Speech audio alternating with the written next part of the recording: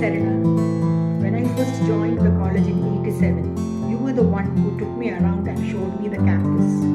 You were only 22, but a very confident young lady even back then. I am really blessed to have you as my friend during the prime years of our lives. We shared many common interests, and I used to enjoy our long conversations together. I also admire the way you boldly face all challenges in life, and that makes you my role model too. I wish you a peaceful retired life with family and happiness in the years ahead. Bye. Hello Sarla, how are you? This is a surprise for you. Uh, my association with Sarla goes back to say 80s. Hmm. We share some uh, passions, we share some common qualities.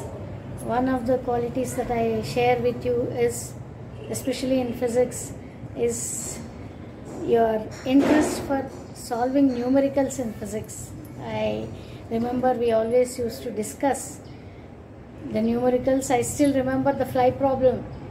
Your, uh, you started teaching uh, mechanics and you loved solving all the problems. That's one interest we have already, we have always shared.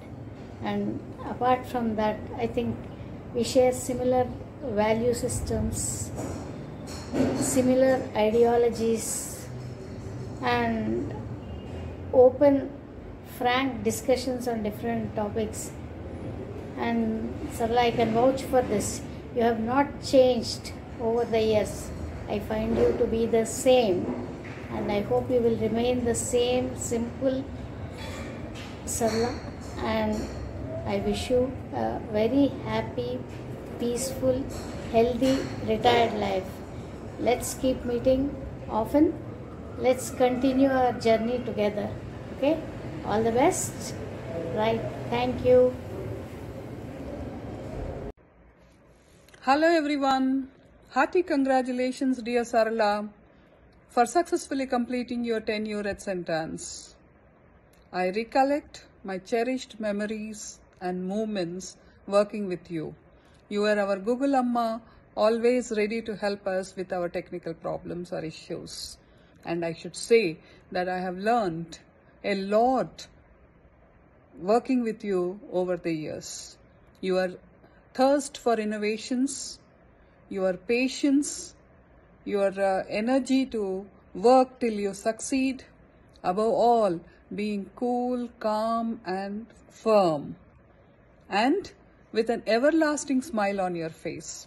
I think I should make a correction. Not I have learned, but I'm still trying to learn these things. And I wish you a happy, healthy, and peaceful retirement life. And I should say, Sarala, don't worry, the life beyond St. Ann's is also as beautiful as it was or as it is in sentence.